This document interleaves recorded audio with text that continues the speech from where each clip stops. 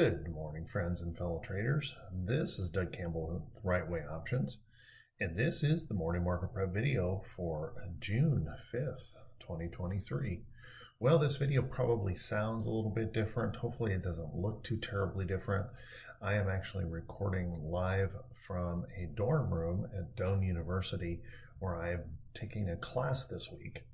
So, hopefully you're able to um, hear and see just as you normally would. There's not going to be quite as many doodads or anything like that on the video, and it'll likely be a little bit shorter. So how about we settle in, let's buckle up, let's get ready for the Monday edition of the Morning Market Prep video taking a look at what happened on Friday, my goodness, the Bulls were in control, just really ripping to the upside, um, despite some really uh, nasty uh, jobs numbers that kind of showed that the jobs situation is still overheating in the country and may bring in some additional activity from the Fed. But that being said, we ripped to the upside, and you can see we broke through these resistance levels in the chart that I have marked on the chart and just ripped right through these. Now, remember, I'm not going to turn these green until we get proof. You know, go, moving up is one thing, proving that you can hold it is another. So if we can prove that we can hold and then follow through to the upside, these will turn green. So if the bulls were to find inspiration today here on the diamonds, I'm going to look for a retest of this area right up in here. You can see if we move right up into this area, that would be um, an interesting test of resistance. And You can see that's fairly substantial. And if they bounce on through that, then I'm going to be looking for a test up in here and that opportunity that we could actually break out here on the diamonds. If we were to take a look at uh, if the bears find inspiration. This is where things could get interesting. We went up so far so fast, we're overextended in the market. And if we were to pull back, I want to show you that, well, there's not a whole lot. Now, we could find a little bit of price support right here and hold in that area, but I wouldn't be too surprised if the bears really start to take off here that we can pull all the way back into that area of price support. Let's take a look at our SPY. Um, SPY also just a raging move to the upside, breaking out completely. Our next resistance level in the chart is right up here. We're close to testing that in the chart. So you'll want to keep an eye on that area. If we can break through there, well, then we're starting to look for these um, additional high points here in the chart. Um, interestingly enough that after such a big bullish move futures are not really they're kind of flat this morning not super super strong and there is a big concern about what happens on the liquidity of the market when the treasury starts releasing all of these uh, bonds to refill our coffers so watch that there's several um, economic folks out there um, really warning that there could create it could create a liquidity crisis and could maybe even create some um, problems for the regional banks. So watch that carefully. Now, if the bears were to find inspiration, unfortunately, we move so strong to the upside. The really only thing we could do is pull back into here.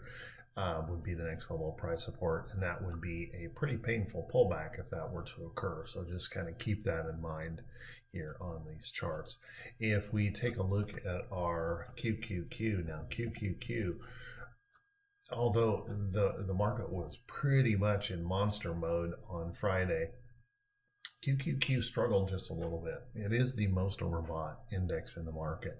And if those bulls continue to find inspiration, well, I think we're going to press right on up to potentially these levels right up here that I've got shown in the chart and up into this level would be the next area price resistance, which would still be a pretty big move in um, the QQQ.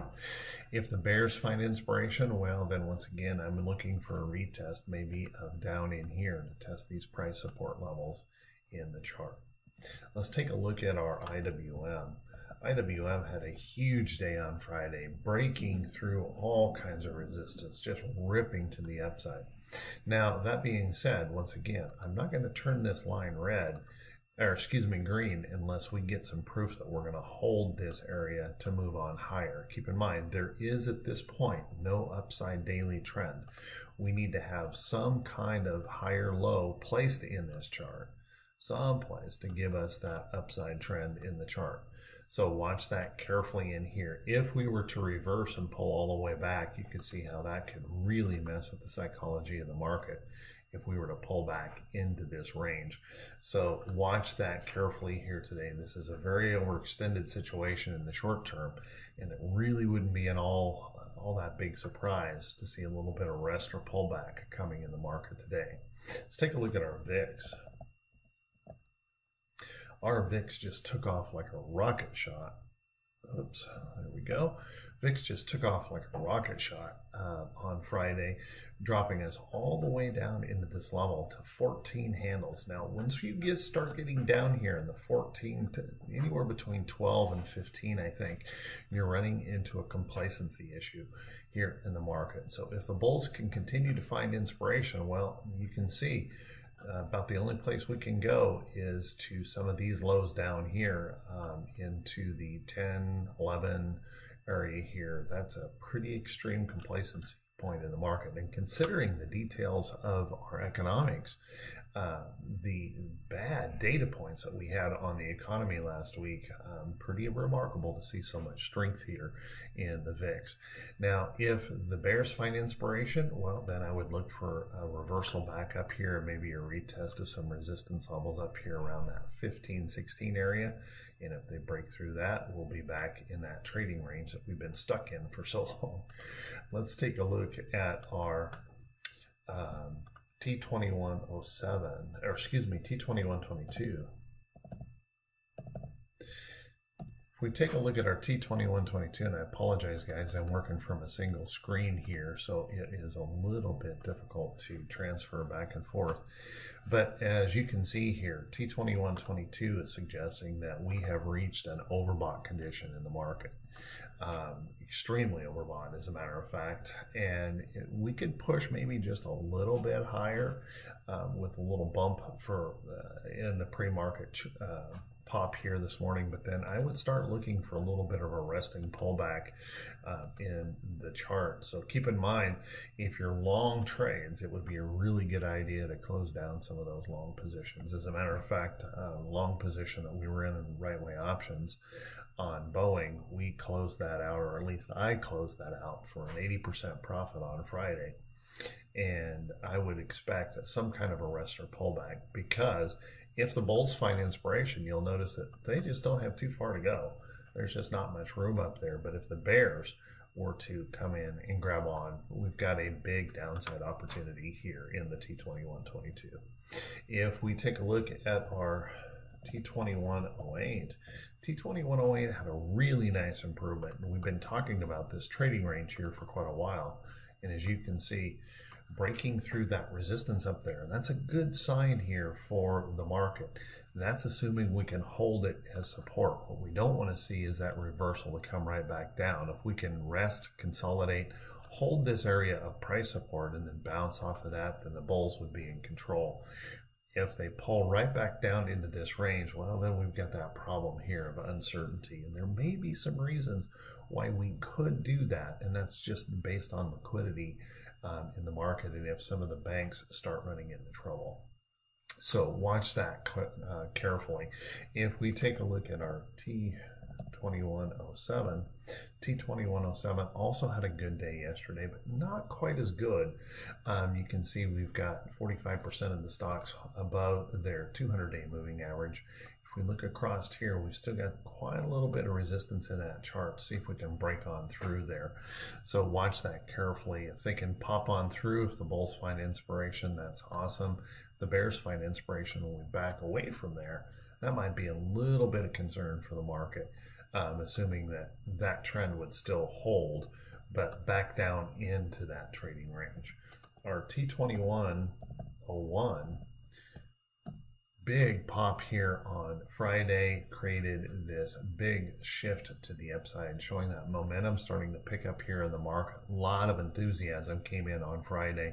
We'll see if that can continue once the realities of this market um, really start to um, weigh on uh, the mind of traders. So watch that carefully as we approach those resistance levels. Let's take a look at our economic calendar today. And let's see if our economic calendar has some information that can help us out for today. First off, let me get back to my normal chart. And then let's, excuse me here for some of this wrangling around, working off of one screen is difficult. So this morning we have a very light day on the economic calendar. As you can see, not much going on here. We've got um, factory orders could move the market, but probably not majorly move the market. Um, ISM services also today that we have a consensus on. So kind of keep an eye on those. But one of the things, oh, by the way, the PMI final composite is in there as well. But one of the things you might want to um, recognize is that we've had a lot of bad data points here recently. The market just said, we don't care and kept moving higher. So that could still be the case. Looking in here, we've got a three month, a six month bond auction, and investor movement index, which nobody's going to care about. Looking into the rest of the week, you can see Tuesday is a really light week or day with some um, bond activity announcements and not much of anything else. We've got um, Wednesday, we've got international trading goods, which of course can be market moving along with that petroleum status. Thursday, we've got jobless claims to be thinking about, um, wholesale inventories, natural gas, uh, and the 30 year bond auction to be paying attention to. And then Friday, very little going on in there to really move the market. So, very light week on the calendar, which means, you know, anything is possible. Let's um, take a look at what could be happening on our earnings calendar for today. Well, earnings calendar is also going to be very light and not much going on in there.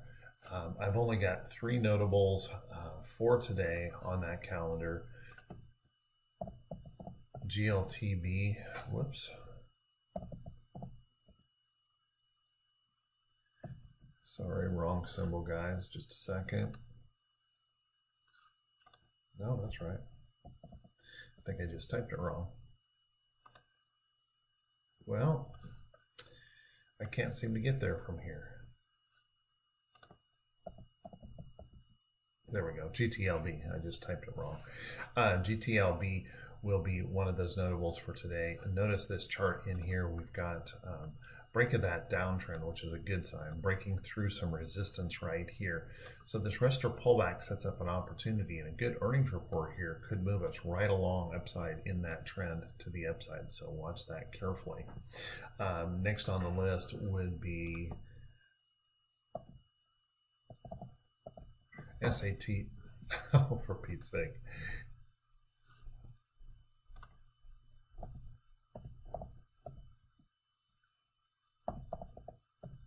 I think I'm having trouble here this morning. Well, I apologize, guys. Um, SATC is one you may want to be paying attention to, and um, CX, CXM would be uh, an interesting one. I really like this pattern in here um, on the day, setting up into earnings. Nice little cup and handle pattern setting up here with that possibility of good earnings report that could pop on through to the upside. It's not a very expensive chart either, so it might be kind of interesting to a lot of folks. I would pay attention over here. We do have considerable price resistance across this area to be paying attention to, so watch that carefully as that reports today. Let's take a look at some stocks that could be setting up, but before we do that, guys, you could do me that quick favor, If this is the first time you've seen these videos, if you could please click that subscribe button on YouTube and also click that bell icon when it pops up so you'll be notified every time I post a video. And if you find these videos to be useful or helpful, if you could also do me that favor and click that thumbs up, leave a brief comment, that helps the channel to continue to grow, and I do truly appreciate it. Um, just kind of keep in mind it'll be hit and miss for me answering questions or anything on the channel because I will be carving all day long and um, won't be able to respond um, too quickly to that information. Let's take a look at um, some of these stocks setting up. And before we do that, guys, remember these are not recommendations to buy or sell any security. Make sure you do your own due diligence. Be very, very careful here in the market. Um, don't overtrade this thing. Uh, there is that chance of a pretty substantial pullback and that um, liquidity situation could run into some problems. So that being said, let's take a look at KRE. KRE is that regional bank um, ETF. And looking at that in here, there is that nice bullish pattern here where we push up, higher low, push on through to the upside. But I want you to notice we're running into a substantial area price resistance.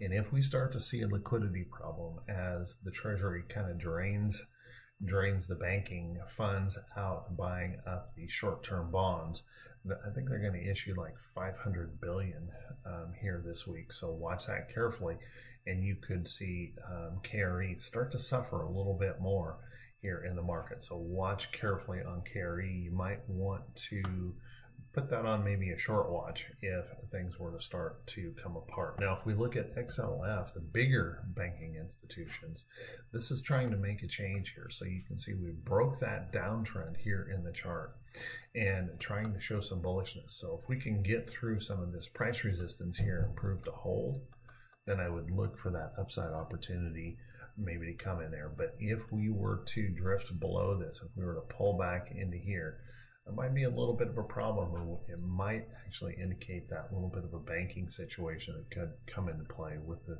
issuance of all these treasury bonds. Let's take a look at um, our US dollar. US dollar this morning is strengthening. You can see pretty strong in this move here on the US dollar, getting stronger and stronger and stronger. Well, what that means is our uh, bond yields aren't improving. Uh, they're continuing to get stronger and stronger, which means more and more pressure to those uh, banks and more and more pressure on the consumer out there as well as those rates continue to rise. Another thing that's going to be interesting today to be paying attention to, um, OPEC made its decision that they're allowing some voluntary cuts in production, and that is having some impact on oil stocks. So let's go to um, energy here, XLE, and you can see energy trying to break this downtrend right in here and push to the upside in the pre-market. I would watch that one pretty closely. If that um, can break through and hold that higher low, notice we've got kind of a double bottom right in here. Break through that W pattern, jump up in here and hold. Certainly would be some upside opportunities there. Take a look at uh, Lowe's.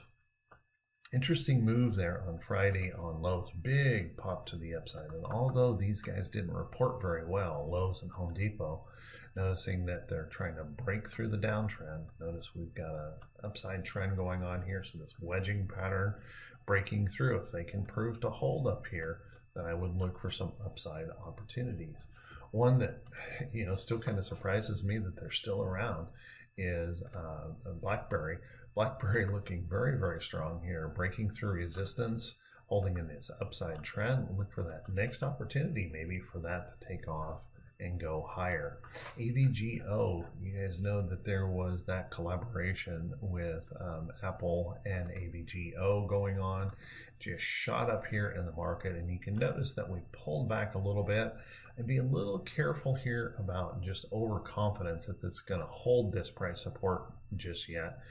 But watch that closely. If this continues to rest back into this trend, then I would look for that next opportunity to the upside in the chart. One of the things that is looking really good is in that airline sector. Um, airlines moving up strongly here with uh, consumers willing to spend heavily on travel right now. So watch that closely. Getting very, very close to that trend move here in the chart. I would watch for that opportunity to maybe move on up and test some resistance levels up there. So with that, guys, hey, I'm going to cut this video off this morning. I'm going to try and get it uploaded. I want to wish you all a fantastic day. Be careful, be safe out there. Have a great one. Wish you all kinds of profits. I'll see you right back here, bright and early Tuesday morning. Have a great day, everyone.